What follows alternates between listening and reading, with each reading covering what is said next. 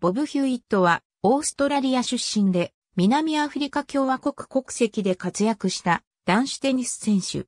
後に強姦などの罪で禁錮刑となった。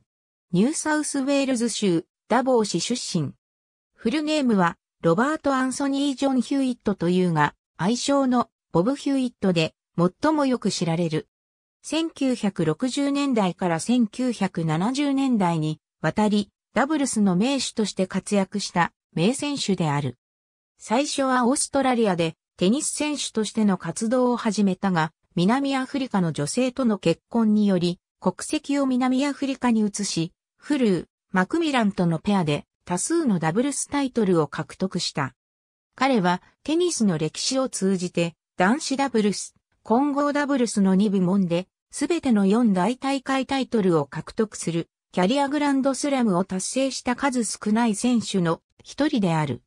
彼は1968年以後、プロテニス選手として、シングルス7勝ダブルス65勝を獲得した。ヒューイットはオーストラリアでテニス選手としての活動を始め、1958年全豪選手権が彼のデビュー戦だった。1960年に初めてシングルスのベスト4に入り、1961年の混合ダブルスでジャン・レヘーンと組んで初優勝を果たす。1962年から1964年までヒューイットはフレッド・ストールと組んで3年連続の男子ダブルス決勝に進出し、1963年と1964年に2連覇を達成した。ヒューイットとストールは、ウィンブルドン選手権の男子ダブルスでも1962年1964年に2度優勝した。ところが、ヒューイットは南アフリカ出身の元モデル、ドレール・ニコラスとの結婚を決意する。ヒューイットは1964年に彼女と結婚し、南アフリカのヨハネスブルグに移った。それ以後、彼は南アフリカ国籍の選手となり、全豪選手権には出場しなくなった。オーストラリアで組んでいたストールの代わりに、彼は南アフリカでフルー、マクミランと出会い、彼とのコンビで多数のタイトルを獲得し始める。オーストラリアにいた頃、ヒューイットは男子テニス対抗戦、デビスカップのオーストラリア代表選手としてプレーしなかったが、1967年から南アフリカ代表選手として出敗に出場資格を得た。1967年のウィンブルドン選手権で、ヒューイットはマクミランとのコンビで初めての4大大会男子ダブルス優勝を果たす。彼にとってはオーストラリア時代の1964年にストールと組んで以来3年ぶり3度目のウィンブルドンダブルス優勝だった。1968年からテニス4大大会にプロ選手の出場を解禁するオープン化措置が実施され、ヒューイットも直ちにプロテニス選手になる。1972年、ヒューイットとマクミランは全仏オープンとウィンブルドンで4大大会男子ダブルスに連勝を達成した。しかし、二人にはまだ全米オープンが残っていた。ようやく1977年、二人は全米オープン男子ダブルス決勝でブライアン・ゴットフリートラウル・ラミレス組を6から4、6から0で破り、初優勝を決めた。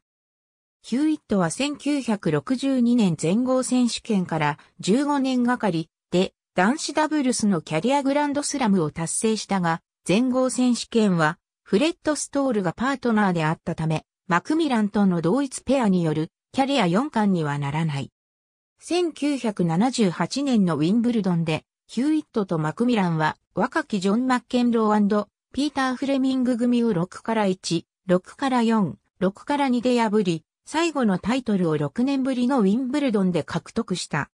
こうして、ヒューイットの4大大会男子ダブルス優勝記録は、ストールとの4勝とマクミランとの5勝を合わせて、総計9勝になった。ボブ・ヒューイットは混合ダブルスでも、キャリアグランドスラムを達成した選手である。最初の混合ダブルス優勝は、オーストラリア時代に1961年、全豪選手権でジャン・レヘーンと組んだものであるが、その次は9年の歳月を要し、1970年、全仏オープンでビリー・ジーン・キング夫人と組んで優勝した。混合ダブルスの分野では、キャリアの後半期を迎えた1977年から1979年にかけて好成績が多かった。ヒューイットは同じ南アフリカのグリア・スティーブンスと組み、マクミランはオランダのベティストーブと組んで混合ダブルスで決勝対決をすることが多かった。1977年、ヒューイットはスティーブンスと組んでウィンブルドン混合ダブルス初優勝を果たす。39歳になった1979年、彼は全仏オープンから全米オープンまで4大大会混合ダブルス3連勝を達成した。全仏オープンだけは、パートナーは、スティーブンスではなく、ウェンディ・ターンブルであった。彼は、全米オープンで、混合ダブルスでもキャリアグランドスラムを成立させた。ヒューイットは1967年から1978年までデビスカップの南アフリカ代表選手を務め、通算38勝4敗の記録を残した。マクミランと共に築いたダブルス16勝1敗の記録は今なおチーム歴代1位記録として残っており、二人は南アフリカのベストダブルスチームとして残っている。しかし、南アフリカは1979年からアパルトヘイトのためデビスカップ出場資格を剥奪され、1992年まで出配復帰を認められなかった。